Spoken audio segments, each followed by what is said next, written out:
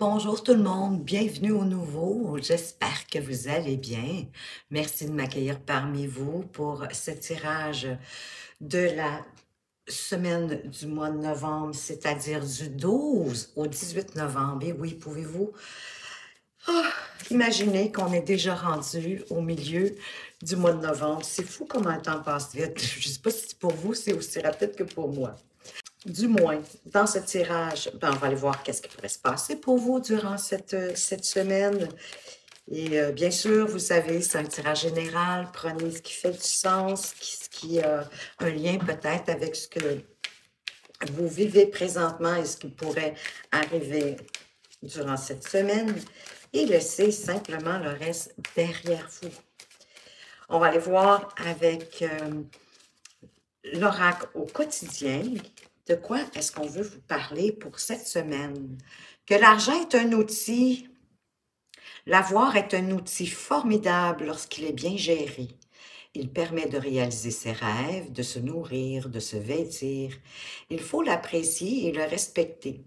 Une somme attendue finira par arriver. Faites travailler votre argent. Ne soyez pas son esclave. Aimez-le, mais ne l'adorez pas. Il en sera question dans votre projet. Affirmez vos idées, vous finirez par en récolter les bénéfices. Par les finances avec les gens qui partagent vos idées, cela vous motivera. Donc, écoutez, peut-être qu'ici, on veut vous parler que ce serait un bon moment pour vous euh, d'investir ce que vous avez peut-être en, en surplus, je vous le souhaite. Mais pour certains, ça pourrait être ça. Ça pourrait être euh, d'investir et de, de, comprendre que l'argent, dans le fond, ben oui, c'est un, une énergie aussi. Hein? C'est une énergie, c'est notre mode d'échange pour avoir des services et pour obtenir des choses et qu'on offre nos expériences, nos expériences nos expertises, nos connaissances dans la vie pour avoir de cette énergie qui est matérielle pour pouvoir obtenir ce qu'on en veut. Il y a certaines personnes ici qui attendent une somme. Elle va finir enfin par arriver durant cette semaine de faire travailler votre argent. Donc, c'est ça, peut-être de faire des investissements ou du moins des choix qui vont permettre à long terme de faire fructifier vos avoirs. Il y en a peut-être qui ont besoin d'argent pour euh, justement mettre en place un nouveau projet. Aimer l'argent sans l'adorer, hein, faut pas devenir euh, comme Picsou, mais euh, on sait que c'est nécessaire hein, euh, dans le monde qu'on vit, c'est important. En vous affirmant, en réalisant vos rêves de vie, ben, vous allez finir par récolter des bénéfices, tout simplement. Donc, avec le tarot, de quoi est-ce qu'on vous parle? Du 4 d'épée. Bon, ben, vous êtes un petit peu épuisé. Euh, vous avez besoin euh, de vous ressourcer, de penser à vous pour vous réénergiser, pour retrouver peut-être euh, votre motivation, ce qui vous permet d'avancer. Peut-être est-ce qu'avec le 4 d'épée, vous êtes beaucoup aussi dans votre tête, dans votre façon de voir les choses. Peut-être avez-vous vécu une déception récemment, que peut-être une cassure quelque chose qui vous a blessé, quelque chose de désagréable et que vous avez besoin de vous reposer, euh, mais reposer, euh, de prendre une pause pour certains. Pour d'autres, ça peut être oui, que vous manquez de sommeil, donc de vraiment de privilégier le sommeil, d'essayer de dormir peut-être une heure de plus, vous coucher une heure plus tôt ou vous lever une heure plus tard, mais ajuster selon votre, votre possibilité, ce que vous pouvez, mais vous avez besoin de vous réénergiser, de retrouver vos énergies pour avoir plus de motivation, peut-être de réparer votre cœur et peut-être arriver une blessure au niveau affectif, peut-être même sentimental, familial, appliqué à ce que vous vivez, mais il y a quelque chose qui s'est passé, peut-être la semaine dernière, la semaine d'avant, mais euh, assez récemment. Alors, qu'est-ce qu'on veut vous dire d'autre? Que, d'accord, vous avez besoin de prendre soin de vous, de vous occuper de vous et de plus de sommeil. Les cartes se laissent désirer. Ben oui, de retrouver votre force, hein, c'est ça. Vous avez vraiment besoin de, de, de, reprendre du poil de la bête, hein, de, de, de faire une pause ou de, de, vous ressourcer, de prendre du sommeil pour retrouver votre force intérieure, votre pouvoir intérieur. La force intérieure, c'est une forme de calme aussi, hein, de sérénité. C'est d'accueillir les situations avec calme, compréhension, compassion, de respirer un bon coup pour ne pas mettre d'huile sur le feu. C'est de dompter, dans le fond, nos instincts primaires de les calmer pour mieux gérer euh, une situation, la situation qui, se qui vont se présenter à vous. Avec le 3 de denier, on vous parle de, de, collaboration, que pour pouvoir réussir cette semaine, vous allez devoir collaborer. Ça peut être au niveau professionnel, bien sûr, mais ça peut être dans votre vie de tous les jours. Hein? Ça peut être euh, au foyer avec euh, vos enfants, votre conjoint, votre conjointe. Ça peut être au niveau familial, dépendamment de ce que vous vous, vous êtes fixé comme but et comme objectif cette semaine, mais ça va être d'accepter la collaboration, de travailler en équipe et c'est ça qui va vous assurer un meilleur succès sur vos buts, sur vos objectifs, je vais y arriver, de la semaine. Et oui, et avec le set de bâton, on vient vous reparler du, du calme intérieur et que vous avez dans le fond la capacité de vous construire une bulle de sécurité, une bulle de bien-être. Que ça se pourrait que dans une situation que vous ayez besoin de tenir bon, de, tenir euh, vos, vos, idées, vos objectifs, euh, quoi qu'il en soit, de, de protéger vos propres intérêts d'une certaine façon. Et qu'à vous seul, vous êtes une armée, parce que vous êtes capable justement de, de trouver votre calme intérieur, votre paix intérieure et de vous euh, construire une bulle d'amour, de protection pour pas vous laisser trop atteindre. Parce que ça se peut qu'il y ait euh, de la rivalité, de la concurrence avec ce set de bâtons. Donc, c'est la raison pour laquelle vous allez devoir tenir bon, de tenir votre position, vos idées, votre objectif. Peut-être allez-vous devoir défendre euh, quelqu'un justement de votre famille au courant de la semaine.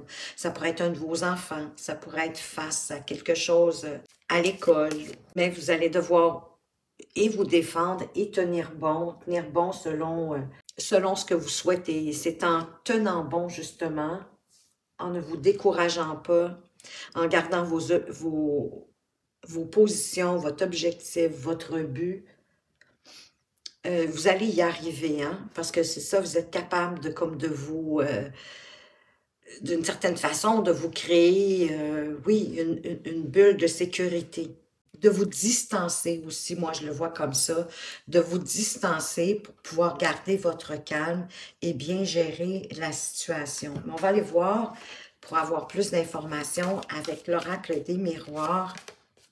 Qu'est-ce qu'on pourrait ajouter sur euh, notre carte d'épée qui vous demande de vous de vous reposer, de prendre soin de vous? On vous parle du temps, ça peut être le temps divin, hein, que c'est le meilleur temps cette semaine pour récupérer, peut-être pour faire face à cette situation qui, qui va vous demander de, de tenir bon et de garder vos positions avec calme, avec sérénité, tout en vous fiant à votre intériorité.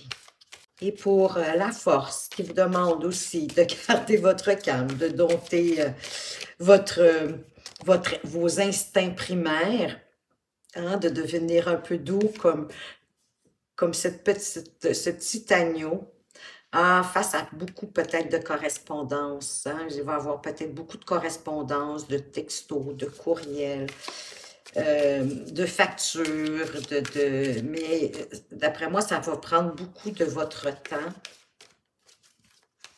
Et c'est possiblement pour ça que vous allez avoir besoin de la collaboration de personnes autour de vous. Wow! Ben, écoutez, avec le miroir magique, vous attirez à vous. Euh, j'ai dit miroir magique, c'est miroir magnétique.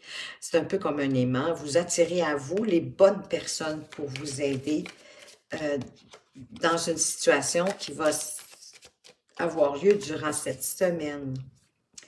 Ici, on parle de loi. Peut-être est-ce que vous devrez euh, porter un verdict, vous autoriser à avoir un jugement juste, équitable par rapport à cette situation pour laquelle vous allez devoir tenir bon. Peut-être que certaines personnes euh, ont des choses en instance de justice, c'est possible.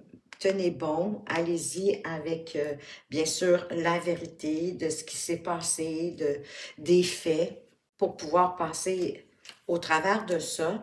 Parce que la loi, quand même, elle représente, bien sûr, hein, la justice. Euh, ça peut être un avocat, un juge, mais comme je vous disais, moi, je pense c'est de, de, garder votre, euh, votre point de vue, de rester euh, équilibré dans cette vérité-là, d'être équitable par rapport à la situation. Si c'est de bâton où vous devez tenir bien, bien fort vos positions, tenir votre fort, si je peux voir, euh, je peux dire ça comme ça, tenir ce que vous avez déjà, tenir selon vos intérêts.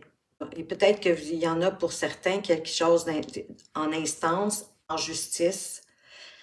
Et si vous désirez vraiment que la vérité soit faite, c'est ce qui va arriver. Mais de prendre aussi avec le dos de deck un peu de, pour moi, avec ce, bonhomme dans cette montgolfière qui regarde de loin, c'est de prendre de la hauteur. Hein? Prendre la hauteur, de retrouver euh, votre calme, de vous envelopper de votre bulle de paix, de calme, pour euh, arriver à à passer au travers de cette situation-là. Parce qu'on pourrait peut-être tenter de vous accuser de quelque chose, mais il y a une ouverture derrière qui va, vous, qui va arriver, qui va faire que vous allez trouver euh, la bonne façon peut-être de vous exprimer, la meilleure façon de vous exprimer euh, pour défaire cette, accusation-là, mais ça va être en prenant du recul, c'est ça, en étant dans votre bulle, comme si vous étiez... Euh, observateur de la scène hein, et non observateur, spectateur et non acteur. Vraiment de vous retirer totalement, de la regarder avec plus de discernement et d'équité. Mais il y a quelque chose qui, qui, vous protège avec le bouclier.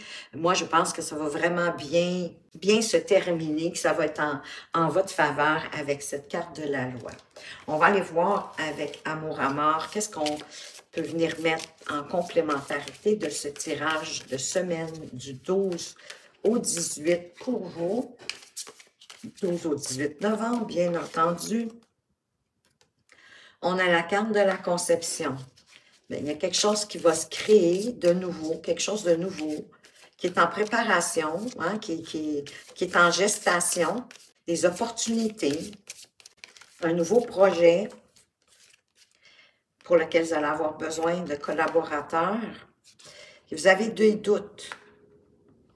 Hein, peut-être est-ce que vous avez, vous avez peur de manquer de temps de ne pas avoir euh, le temps de, de tout faire? C'est la raison pour laquelle vous allez avoir besoin de vous fier, d'avoir confiance en vos collaborateurs et de garder votre calme, d'être compatissant, compréhensif.